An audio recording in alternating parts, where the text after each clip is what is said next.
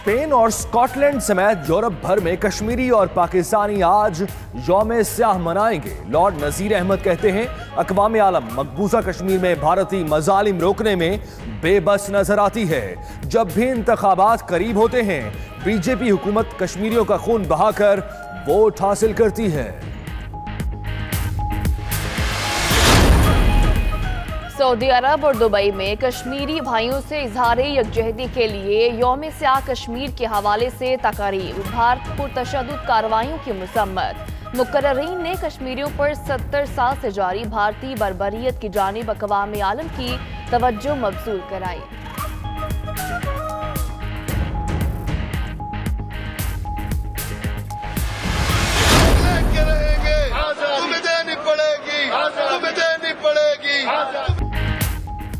کشمیریوں سے اظہار یکجہتی کے لیے جنوبی افریقہ میں اقوام متحدہ کے دفتر کے سامنے مظاہرہ۔ پاکستانی، کشمیری اور مقامی مسلم کمیونٹی کی کثیر تعداد میں شرکت۔ مظاہرین کا عالمی برادری سے بھارت کے خلاف فوری ایکشن لینے کا مطالبہ۔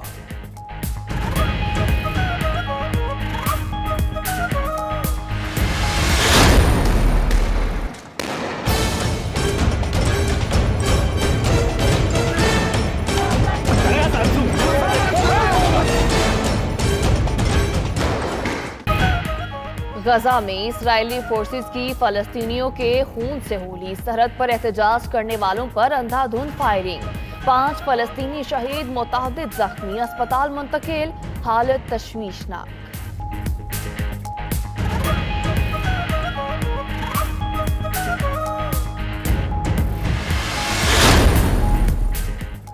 دشمن جتنا بھی ظلم ڈھائے گا، وہ سینہ سپر رہیں گے۔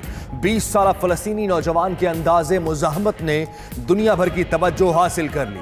ابو عمر کے ایک ہاتھ میں فلسطینی پرچم، دوسرے میں غلیل۔ نوجوان کی اس تصویر نے دنیا کو مشہور فرانسیسی painting liberty leading the people کی یاد دلا دی۔ اسرائیلی وزیراعظم نیتن یاہو کا عمان کا خفیہ دورہ، سلطان قابوس بن سعید نے ان ان کا استقبال کیا۔ مشرق وسطی منصوبہ اور باہمی دلچسپی کے امور پر تبادلہ خیال کیا گیا۔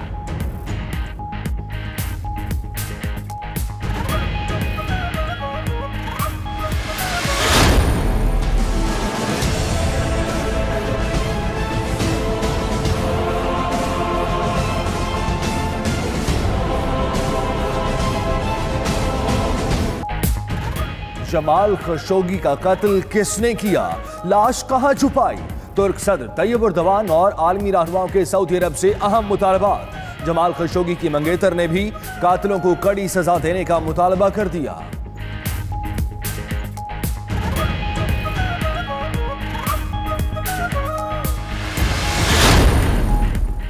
امریکی صدر کی روسی ہم منصب ولادی میر پیوٹن سے ملاقات کا امکان۔ امریکی مشیر برائے قومی سلامتی جان بولٹن کا کہنا ہے کہ روسی صدر کو واشنگٹن آنے کی دعوت صدر ڈونلڈ ٹرمپ نے دی۔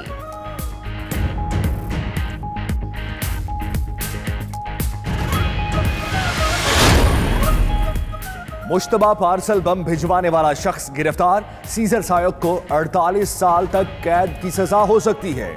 ترجمان امریکی محکمہ انصاف کے مطابق ملزم پر پانچ مختلف الزامات کے تحت فرد جرم عائد کی جائے گی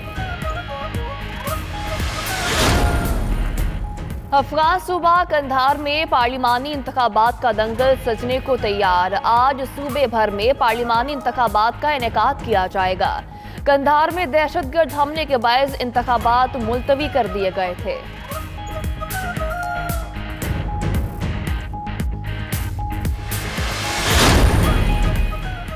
اردن میں قدرتی آفت نے شدید تباہی مچا دی۔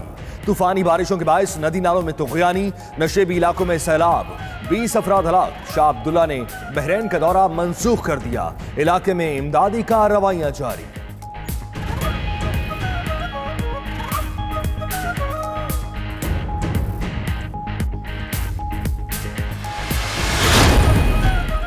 مکہ مکرمہ اور مدینہ منورہ سمیت دیگر شہروں میں گرج چمک کے ساتھ موسلا دھار بارش۔ سعودی محکمہ موسمیات کی آئندہ ہفتے تک بارشوں کی پیش گوئی۔ ٹریفک پولیس کا ڈرائیورز کو احتیاطی تدابیر اختیار کرنے کا مشورہ۔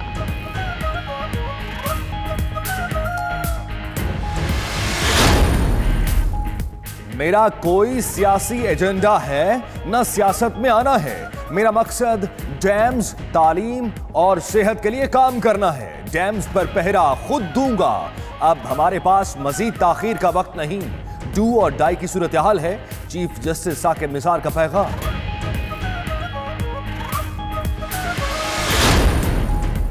منی لانڈرنگ کیس میں سندھ سرکار کے عدم تعاون پر چیف جسٹس برہم۔ وزیر اعلیٰ سندھ کو آج چیمبر میں طلب کر لیا۔ مراد علی شاہ کہتے ہیں جی آئی ٹی کو بر وقت تفصیلات دیتے رہے، احتساب کا عمل ضرور ہونا چاہیے، لیکن جانبداری کے ساتھ نہیں۔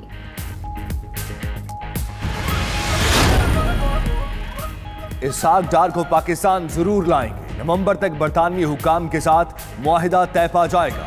وزیر اعظم کے معاون خصوصی برائے احتساب شہزاد اکبر کی لندن میں گفتگو، کہا، پاکستان کی لوٹی دولت واپس لانے میں برطانیہ مدد کرے گا۔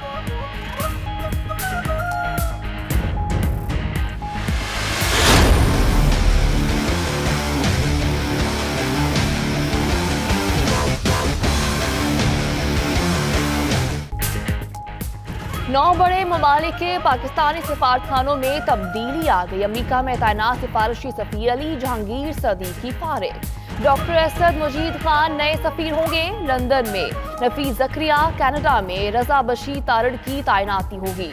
راجہ علی اعجاز سعودی عرب میں نئے سفیر مقرر۔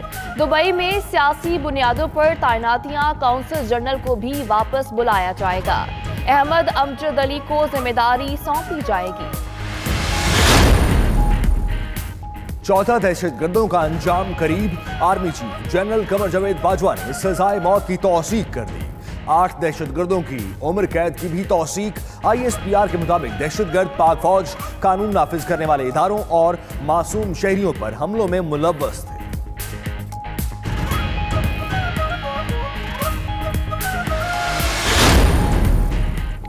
فیصل آباد میں ٹوٹی فروٹی گولے کی دھوم جو بھی ایک بار کھائے، اس کا دل بار بار للچائے۔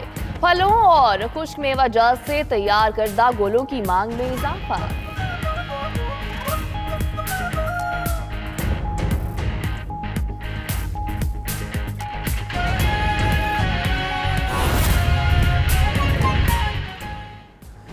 بسم اللہ الرحمن الرحیم السلام علیکم آپ دیکھ رہے ہیں نائنٹی ٹو نیوز اور میں ہوں سید سلطان بخاری۔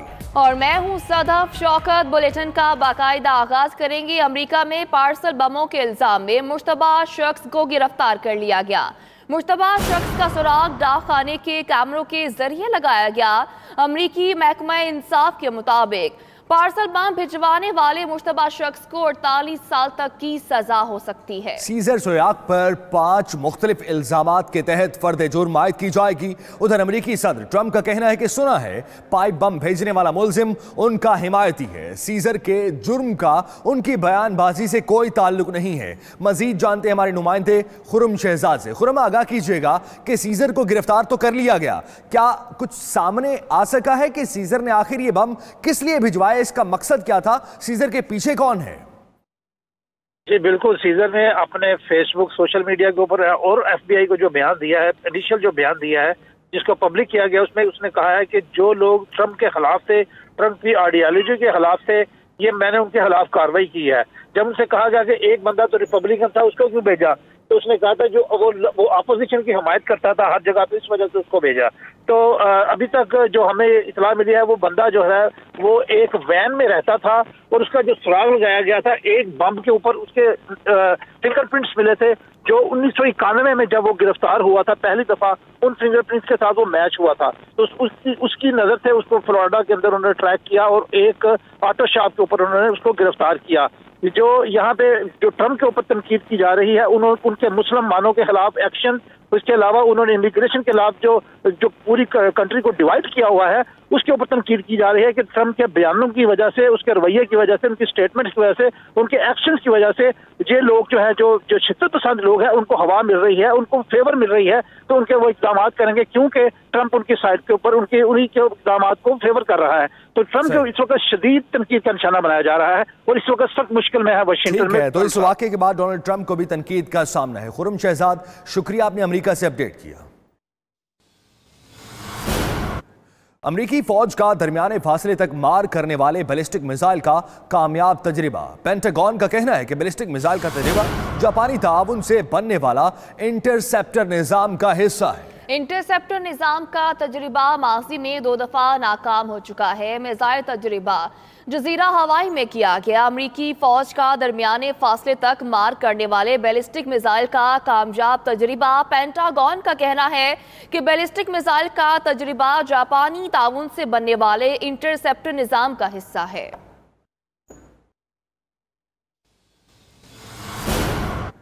اور اب بلیٹن میں ذکر کریں گے یوم سیاہ کا۔ تو ہے آزاد یہ دنیا۔ پھر میں قابض بھارتی فوج نے نہتے کشمیریوں پر زمین تنگ کر دی ہے۔ حالیہ دنوں میں بھارتی فوج نے فائرنگ کر کے دس کشمیریوں کو شہید کر دیا۔ درجنوں کو زخمی بھی کیا گیا۔ مقبوضہ وادی میں انسانیت سوز مظالم کے خلاف پاکستان سمیت دنیا بھر میں آج یوم سیاہ منایا جائے گا۔ شہری بازوؤں پر کالی پٹیاں باندھ کر بھارتی مظالم کی مذمت اور کشمیریوں سے اظہار یکجہتی کریں گے۔